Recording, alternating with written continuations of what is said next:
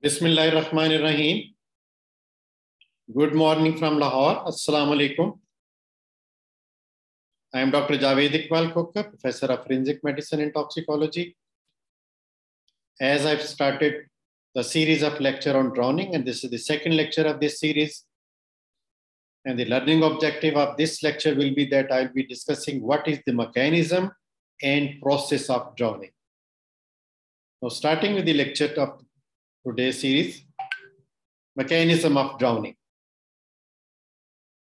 There is a natural buoyancy in our body, that the body weight is made up of 75% water, roughly, and 5% of the fat. And fat is also lighter than the water, having the specific gravity less than 1.92. And thus, the major portion of body has a natural tendency to float. This is known as natural buoyancy. Uchal in Urdu we say, pani ki uchal. There is natural tendency to buoyancy, natural buoyancy. So, what happens in the process of drowning? When a non swimmer falls into water, he sinks partly because of the force of fall and partly owing to the weight of the body, because of the weight of the body. So when a person jumps into water, two forces acts. First, the weight of the body, and secondly, the force of the fall. And person then after the fall, first rises to the surface with natural buoyancy and also due to some trapped air within his clothes. Then, because of also there is some struggling movement. So, this also helps in coming to the surface. So, two forces which act in downward direction that is weight of the body and the force of fall whereas the natural tendency of buoyancy trapped air and the struggle of struggling movements helps the individual to rise up to the surface. And on coming to the surface, again, he violently attempts to breathe and shouts, shouts for some help.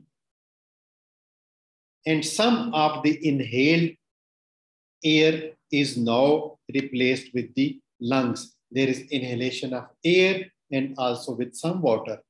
So, with these violent efforts, air is also inhaled, but some water also passes into the mouth. And some of it is aspirated into the respiratory passage, which is, and some is swallowed into the stomach. There is violent coughing due to aspiration of the water because it is irritant, it is uh, irritating the mucosa, and there is violent coughing. And some of the air is expelled because of cough from the lungs, and this is replaced by the water, water which is drawn in to the lungs. So this coughing cough out the air and inhales the water more into the lungs. Now the specific gravity of the body will be start rising more than one and now the body will start sinking down below the surface once again. Then irregular movements of the limbs once again bring the body to the surface. And it may again sink due to inhalation of more water. So this happens again and again that violent efforts, body movements bring the body up inhales air and some water and again sinks down. And this again and again happens. And then the person finally sinks to the bottom.